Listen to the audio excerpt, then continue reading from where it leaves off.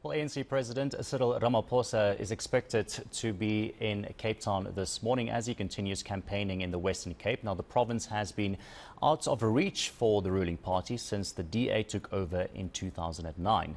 But Ramaphosa hopes to turn things around in the opposition stronghold.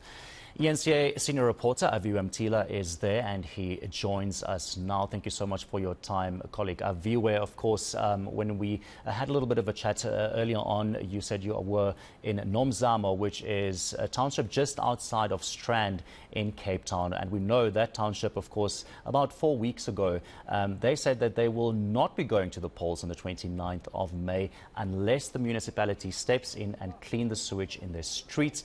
But of course, it's also community plagued by so many different issues. What can you tell us this morning?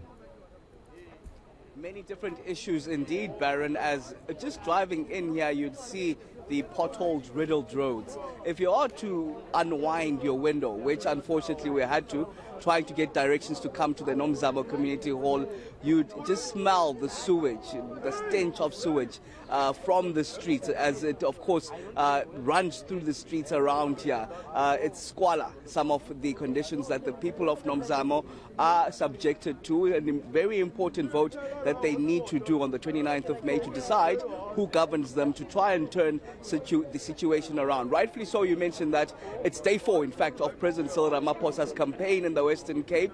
Today, he's targeting Nomzamo. Uh, after being briefed when he arrives here, he'll go on a door-to-door campaign, then come back to the Nomzamo Community Hall here uh, to try and convince the electorate here to vote back the ANC into power, which of course lost the Western Cape in its entirety some 15 years ago.